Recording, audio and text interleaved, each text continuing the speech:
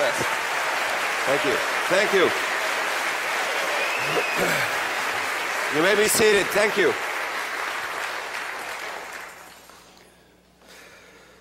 This is the first prophecy conference. I've been invited to many prophecy conferences, but this is the first one that I was allowed to talk about prophecy. Every prophecy conference, they say, please, none of that discussion about Islam and the Bible, just your testimony. Because in the West, we still hung up in our old, outmoded interpretations, looking at the Bible as it's a Western manual. It's a Western manuscript. So in the West, they kind of look at the allegory as literal and the literal as allegory. So the seven mountains are in Vatican. Yet there are other seven mountains in the world. You got seven mountains in Mecca, you got seven mountains in Istanbul, you got seven mountains in San Francisco. I mean, why can't it be San Francisco? Why are we picking on the Catholics?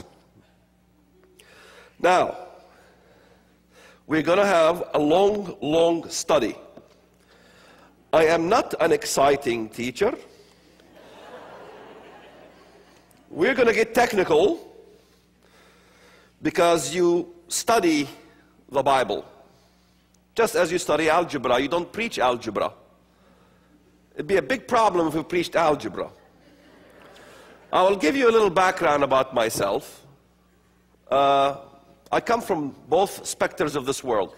My mother was an American who met my father, who's an Arab, Jordanian, in Humboldt State College, University today. My American side, my great grandfather was mayor of Eureka, California. He was also an excellent friend with Winston Churchill. From my other Arabic side, my grandfather was the chieftain, Mukhtar, and he owned a big portion of the shepherd's fields, you know, where the angel came down and proclaimed the Messiah. That was owned by Grandpa, most of it.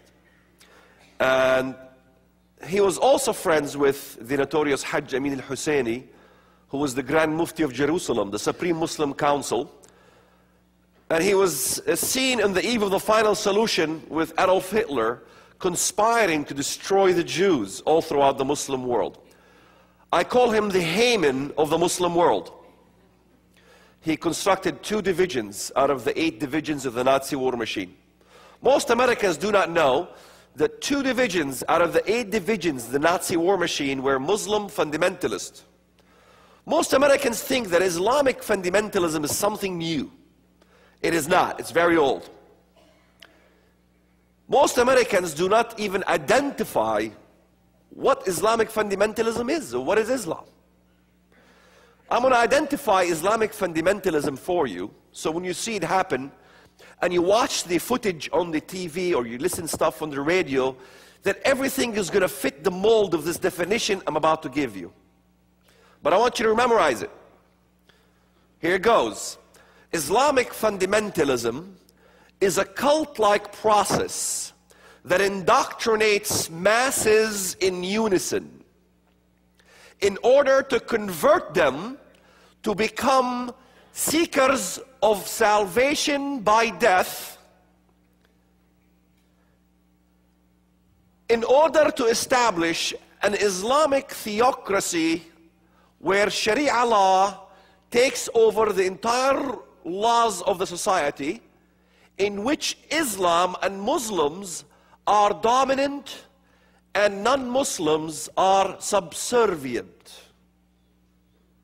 This dogma will take the life of the recruiter and the recruitee in every aspect of their life in which they always long to the glory days when Islam was triumphant and when Islam ruled the ancient world.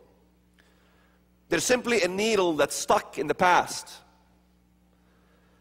Islam was wounded by the Christians when the Ottoman Empire was dismantled.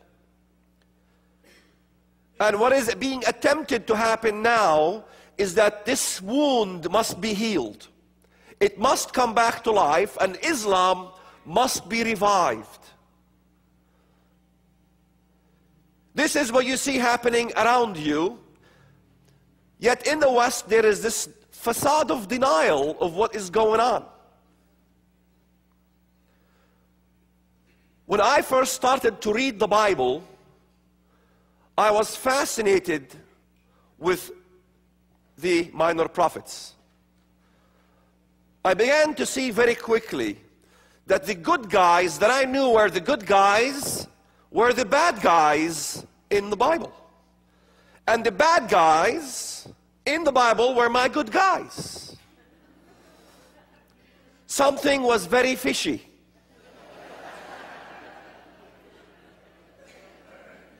I began to see that my Mahdi was your Antichrist. And your Christ was my Antichrist.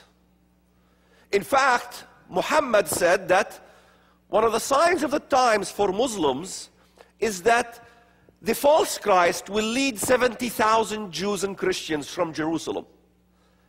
Satan even knew that there will be a unity between Christians and Jews in the ends of time. And one of the signs that we know the Mahdi is coming is that the Mahdi will bring a seven year peace upon the earth. Yet when I read the book of Daniel, I was crushed to find out that, my Mahdi was your Antichrist. Something indeed was very fishy. I began to begin to understand that Satan was extremely clever. That if you want to understand prophecy, you must pick on the brains of Satan because he knows it. He knew it all along for thousands of years. So he set up Islamic eschatology to match your eschatology, except he flipped who the good guy is to become the bad guy, the bad guy, the good guy. We have just completed the 2007 International Prophecy Conference with nearly a dozen world-renowned speakers, but you don't have to miss a minute. I've been invited to many prophecy conferences, but this is the first one that I was allowed to talk about prophecy. Could the apparitions that perform numerous signs and wonders that the Catholic Christians revere and worship also be the same things that Muslims will also worship? Our spiritual link is so connected to Israel that whatever God promised Israel as a blessing can come upon us as Gentiles. By 2015, Muslims will make up a majority of the Russian army. Get the entire conference today. All messages on audio tape or CD for only $119 plus $10 shipping, or on DVD for only $199 plus $10 shipping. When you order all the sessions, we will send you absolutely free the historic convocation where eight speakers were together on one panel for three exciting hours. Call now toll free 1 888 463 7639 and have your credit card ready. All my life as a teenager, I grew up in the Middle East, in the Palestinian areas, of course. My desire was to die as a martyr. Because the only way one can assure one's own salvation in Islam is to die as a martyr. Most Muslims will tell you that they reject Christianity because no one can die for somebody else's sin. That the idea of a Messiah dying on the cross to redeem mankind's sin is absolutely rejected in Islam. There is no atonement for sin by anybody in Islam. This is the main focus that Islam came as a religion was to supposedly correct the Jews and the Christians, specifically the Christians, because the Christians believe in the Trinity and they believe God is our Father. They believe God came in the flesh. They believe that Jesus died on the cross. All these things are denied in Islam. Islam came as a religion for one sole purpose and one reason alone. Uh, that is to deny Abba, our Father,